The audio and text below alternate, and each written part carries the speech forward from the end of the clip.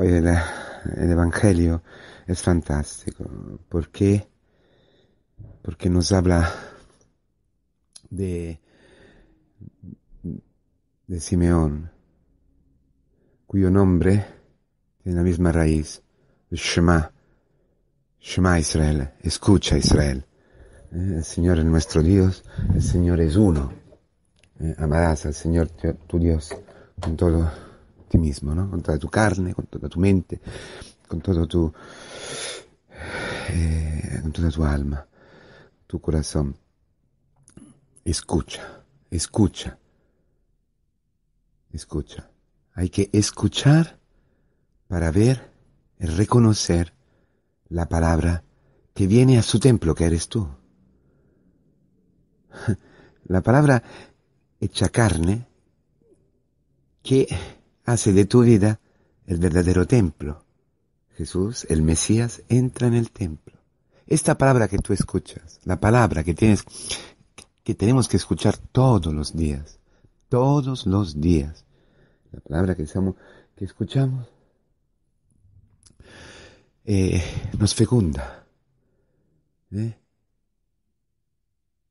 La predicación ¿eh? es el esperma, el querigma del, del Espíritu Santo.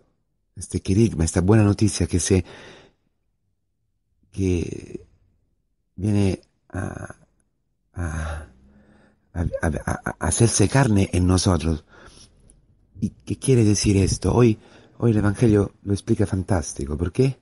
Dice que era un hombre, Simeón, Simeón, el hombre, el hombre de la escucha, el hombre que escucha, el hombre del Shema, el hijo del Shema, un hombre piadoso, un hombre justo, un hombre que, eh, de los de los anawin, ¿no? de los pobres, de, los temor, de los, que tenían, intentaban vivir, querían vivir en la voluntad de Dios, eh, dentro del marco de la alianza.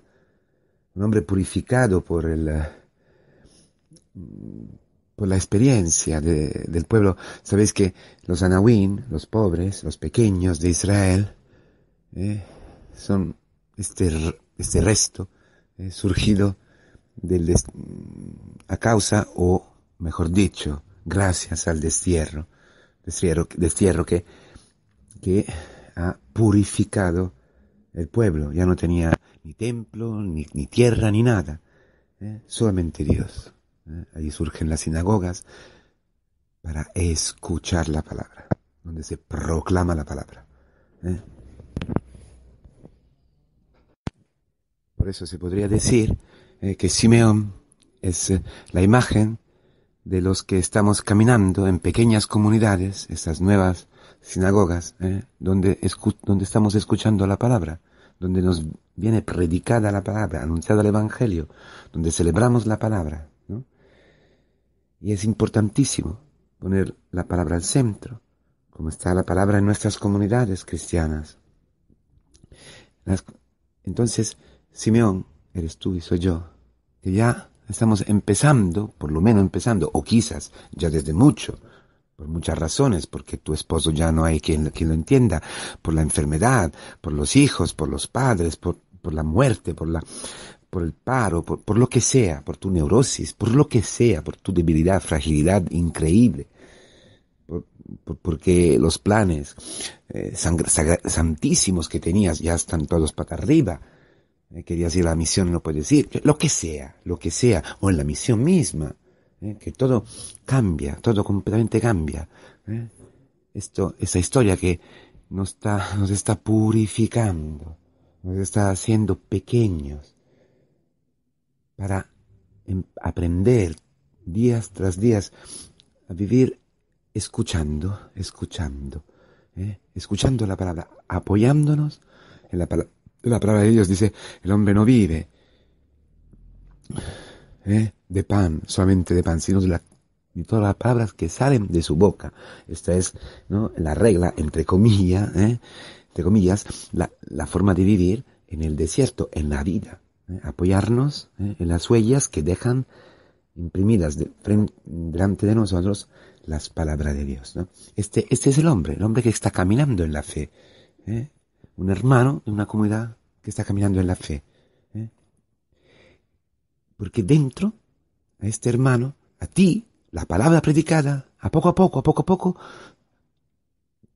se está haciendo carne, se está haciendo un embrión, este esperma que penetra constantemente en ti, a poco a poco va creciendo. ¿Cómo? ¿En qué forma? Lo dice hoy la palabra. Él sabía que no iba a morir antes de ver el Mesías del Señor. Antes de verlo. Entonces, escuchar para ver. En medio, el, puente que, que, liga la escucha al ver, al ver, a, a, la experiencia, porque luego dice que lo abraza, es decir, lo toca. Lo mismo que dice San Juan, lo que hemos visto, lo que hemos tocado, lo que hemos contemplado, eh, o sea, el verbo, el verbo de la vida que se ha hecho carne. Esto os anunciamos a vosotros. Entonces, para hacer esta experiencia de San Juan, de escuchar, ver, contemplar y tocar como, como Simeón, eh, hay que... Eh, este puente es la certeza dentro que surge a poco a poco, a poco que crece, que no vas a morir antes. Pero no, está hablando solamente de la muerte física, espera. Está hablando de que el demonio siempre ¿eh? nos, nos dice que si tú acoges, tú acoges a tu mujer así como es, a tus hijos así como son, a tus padres, a, la historia, si te lanzas ahí dentro, si entra allí, si entra en el, en el no entender, si entra en esta relación tan difícil con tu marido, si entras allí, o, si, quieres, si quieres, si te quedas allí, ya vas a morir. Tu marido te aplasta. Tus hijos ya, todos harán un horror. La misión va así. Y es perfecta como está yendo. Pero es que los obispos, es que esto, es que el otro, y que, y que las otras familias, y que, y que, y que la evangelización, y que es dificilísimo, y que, y, que hay que entender, hay que, hay que planificar, hay que, eh, mejor así, no, mejor así, no, no, no, allí. ¿Qué te está pidiendo el Señor? Allí. ¿Dónde estás hoy? Allí. Tienes que servir a un hermano, tienes que limpiar la casa, tienes que cambiar pañales. No, pero, allí. Allí, ¿dónde estás? Allí.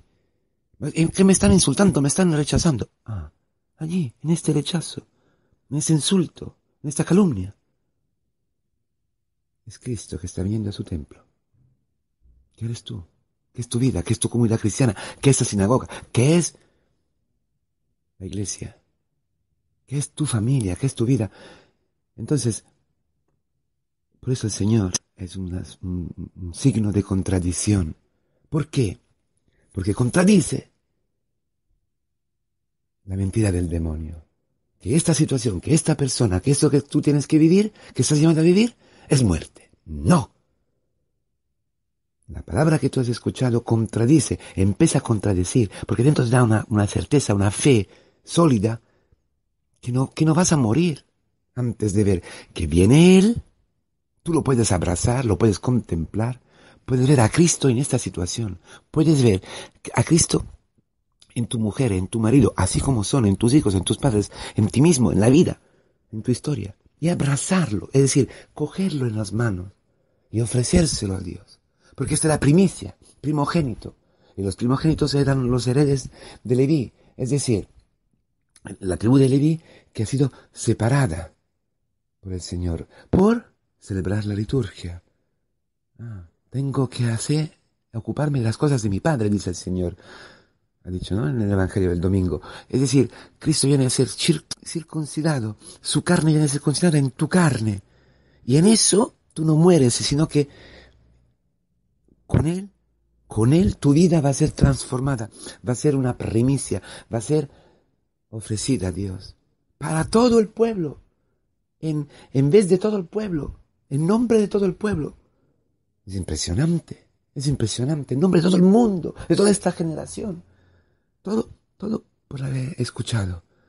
Y a ver, así, si, si, si tú escuchas sin endurecer el corazón, dentro de ti, en el fondo de ti, en el, tu corazón, ahí donde decides si aceptar o no una cosa, un, evento, un acontecimiento, entonces tú verás a Cristo, lo contemplarás, el Mesías, el Salvador, a tu vida.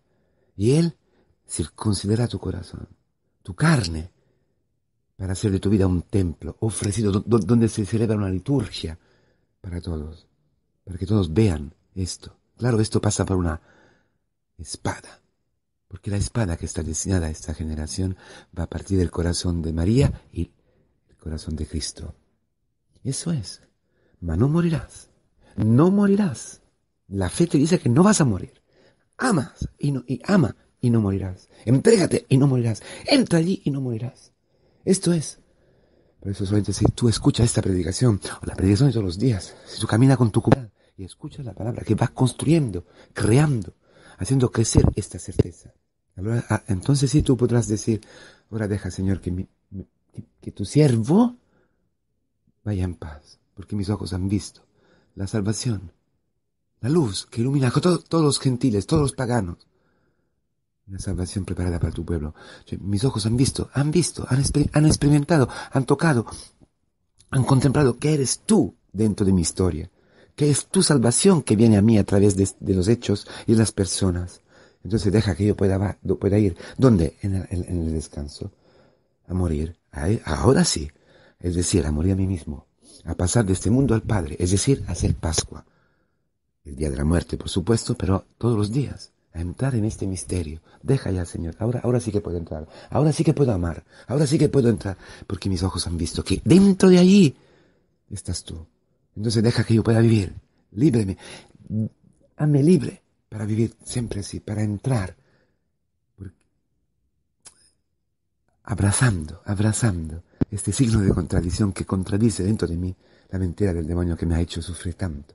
Hasta hoy quizás. ¿eh? Porque esto eh, mi vida, mi comunidad, la iglesia, es Cristo mismo, vivo, el que se ofrece como una primicia para todos, como un primogénito de, toda, de todos los hombres, eh, una luz eh, para todos los paganos. Para tu hijo cuando, cuando, se, cuando se vuelve pagano, para tu suegra, para tu amigo, para tu colega, para lo que sea. Y, y salvación por esta sinagoga, que es tu comunidad, que es tu familia.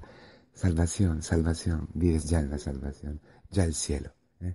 Pues ánimo, a la escucha de la palabra.